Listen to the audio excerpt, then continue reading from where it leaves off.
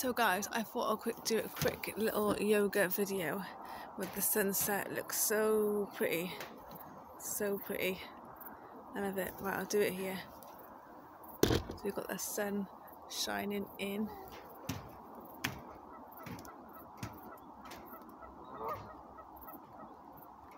Actually, I'll do it here. Just a little pathway.